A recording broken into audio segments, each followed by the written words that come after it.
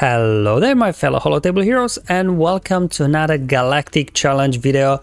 Hopefully you had a productive week behind you and that you're looking forward to get your weekends started. But first, as always, a brand new challenge is upon us and this time we are taken to Bespin where we have to take down a squad of Mandalorians led by Maul and we do have to use Tuskens to get max rewards. So as always, I'll cover the modifiers and the feats and then show you the battles. So I've got two battles for you. So the first one will be Tusken and then the other one will be dealing with the remaining uh, feats. Now, unfortunately, today it looks like you will need to have a solid Tusken squad to be able to survive. Not sure what the minimum requirement will be for Tuskens. Mine will be all Relic 5 and they kind of barely made it.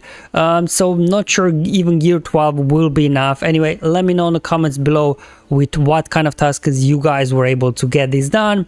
If you can't get max grade, no need to stress, just do the best that you can. As long as you get uh, your two Omicrons, you should be good uh, to go and start your weekends. Okay, uh, let's go have a look first at the modifiers. So we have Decadence. Uh, now, the main thing really here is uh, reduced accuracy by 15%. So there'll just be a little bit more dodging than usual. That really is the main thing from this modifier. The rest of the collected wealth doesn't really, I think, impact the battle all that much. Then we've got a Tusken modifier. It's a very powerful one. We get lots of extra health, lots of defense, speed, and of course we get the ambush mechanics uh, so that the weakest uh, enemy will get ambushed on them and then we should be able to ignore the taunt and keep going after the ambushed enemy and then as well every time we hit them we gain extra stacks of momentum. Uh, so it's a pretty nice one I guess modifier for us. And then as well the code so that's the modifier for Mandalorians. Uh, anytime they get damage all of them gain a stack of clan loyalty and for each of the stacks of clan loyalty uh, most annoyingly they are getting counter chance however, uh, in certain situations, we'll be able to use uh, this modifier against them. More about that later. Um, so let's go have a look now as well at the feats. We have to win with a full team of Tuskens. Duh, it's a Tusken challenge. We have to complete the battle, yeah. And then we have to inflict damage over time 30 times. But how did we have this just feat on Monday? Is CG running out of ideas for feats or what? And yeah, the no leader feat. I think that's everyone's favorite, isn't it? Um, anyway, uh, let me show you my Tuskens first. We'll do that one. Um, so mine are all Relic 5 and they kind of barely made it. But it's true, I don't have amazing mods, them just some random 5 dot mods, so nothing too crazy. Um, so I had a play around. I did, I think, five attempts and I was able to win two out of five. So you may need to restart a couple of times for RNG to align. Uh, but because of all this momentum, everybody just kind of keeps stunning themselves. Um, of course, there, Maul, when he's got more than two stacks of Anguish, he can't be stunned. And then Paz, uh, because he's the healthiest, he was able to cleanse that off. Now, the most, most annoying thing here is that we are not able to uh, target the ambushed enemy, which in this case is Mandalorian, uh, because while we can ignore taunts be with ambushed, we cannot, looks like, ignore resilient defense that Paz keeps getting. So as you can see now that uh, Paz dropped resilient defense, I was actually able to go after the ambushed enemy. Uh, now the opening, you just have to survive a couple of rounds uh, until Maul goes down, Paz goes down, and then, you know, once those two go down from damage over times, uh, you should be good to go here. Uh, not really much to say, just, you know, uh, keep playing until I guess RNG lines up for you as mentioned before. I was able to complete it two out of five times. So again, you know, you may need to restart a couple of times. Uh, but on the, it would be, I guess, easier if actually we would be able to target the ambushed enemy.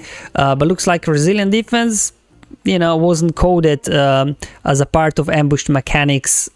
I don't know, is the bug working as intended? I don't know.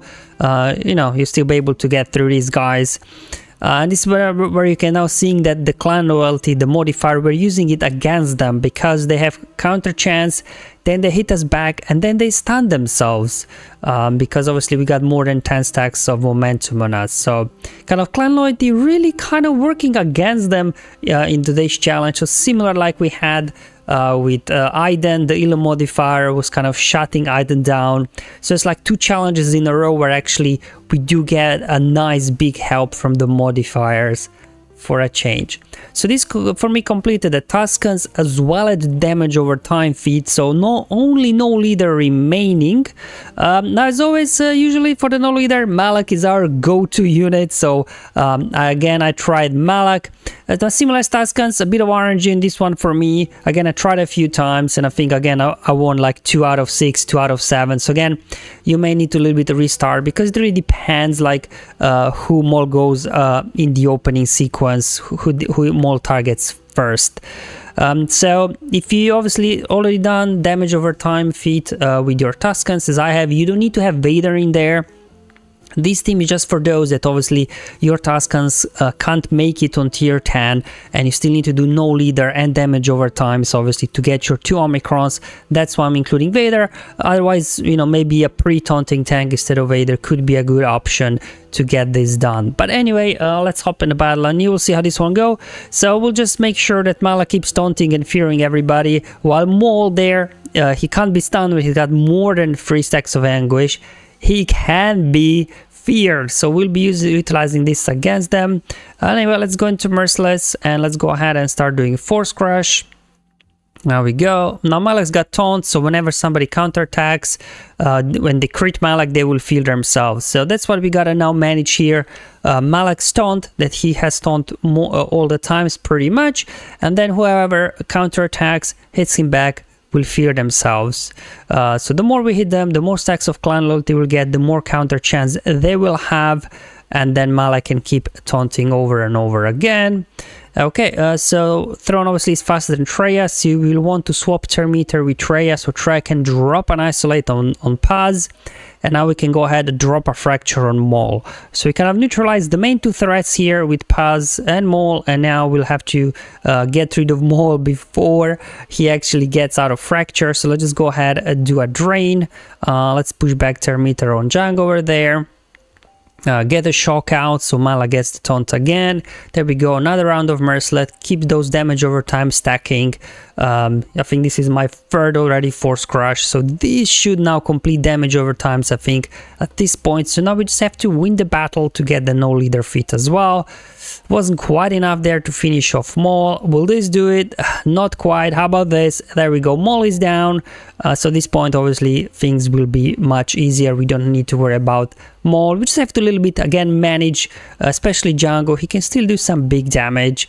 Uh, and Mando's Whistling Birds, you know, they can do okay damage. Um, but anyway, let's go ahead, uh, swap Terminator here uh, with Malak. Uh, let's get a shock out so we get a taunt again. And we can go ahead finish off Mando there. Uh, let's go ahead and, yeah, drop a Fracture on Jango. You know, he's the only one that's got some damage now on this team. And otherwise, there you go, we got counterattacks. That's what I'm mentioning. We're kind of using their modifier against them. That gives them counter chance. Then they're constantly counterattacking. And then obviously Malak constantly fearing them, constantly making sure he's got taunt up. We got another Merciless.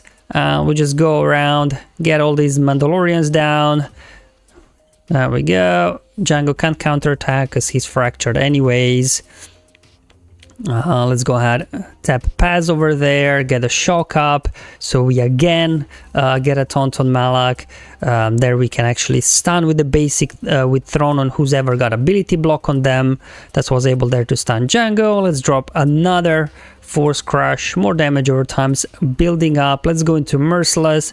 Let's go ahead, chuck this at Jango He's down. And from here on out again, we can just hit autoplay and we should be good to go to get here the no leader feat as well as damage over times. So again, a bit of an RNG in this one. Um, ideally, they go after Malak, so he constantly fears them at the start of the battle.